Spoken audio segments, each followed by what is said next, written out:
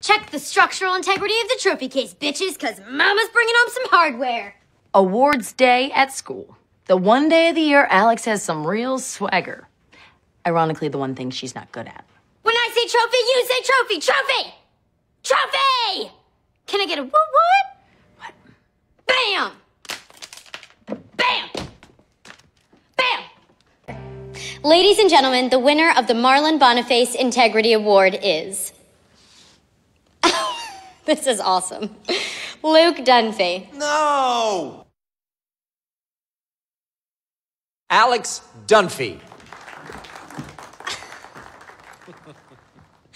Well, this is a surprise. Let me tell you about a little girl with a dream. Muchas, muchas gracias. Ah, where was I? Awards Day. Or as Sanjay Patel knows it, Passover. All that little girl wanted was a calculator and a chance.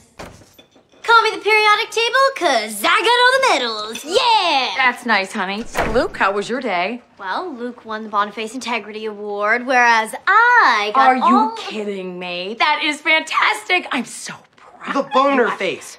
You win that award, everyone calls you boner face. It's the Super Nerd Award. My underwear got pulled over my head by a girl.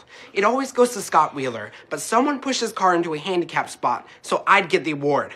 And I think I know exactly who did it. Well, yeah, Manny, you framed Scott Wheeler, so I'd win the boner face. it adds up. Uh, first, lower your voice. We're not stevedores. Second, you're wrong. Third, it serves you right anyway after you hit on Sarah Fink. Oh, for God's sake, there are plenty of other girls out there. Get over it. That cinnamon stick is from Sri Lanka! Ugh, get off me! You smell like a candle. It's lavender bath beads, you son of a bitch! And the award for the saddest brawl goes to. Okay, stop, stop, stop, stop it. I did it. I did it. I got you the boner face. Uh, the bottom face. What's it called? Just uh, get out of here. You? Yes.